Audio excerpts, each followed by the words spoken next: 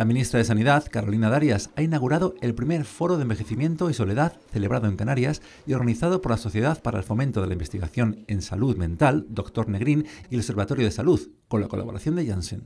Un encuentro para concienciar sobre la situación actual y futura de los mayores. La Organización Mundial de la Salud define el envejecimiento saludable como el proceso de fomentar y mantener las capacidades que permiten el bienestar en la vejez y el hecho de que España se haya posicionado como uno de los países con mayor esperanza de vida a nivel mundial reafirma nuestro modelo de país y evidencia la calidad de nuestro Sistema Nacional de Salud.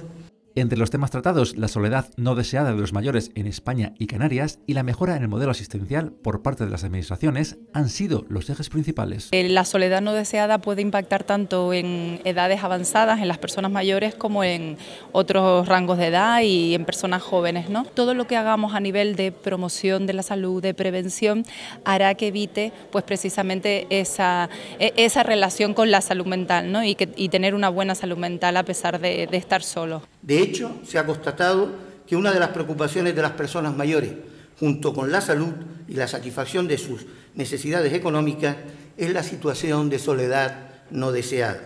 Conocer la importancia de este fenómeno es necesario para su abordaje y para poder avanzar hacia un modelo social más justo y conveniente al bienestar de las personas mayores.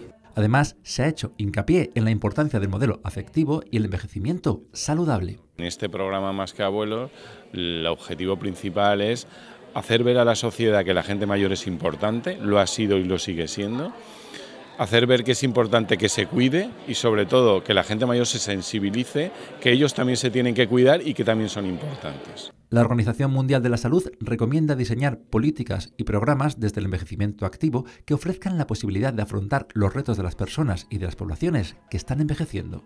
Más allá de ser entendido como una amenaza, el fenómeno del envejecimiento debe ser percibido y reconocido como un logro social.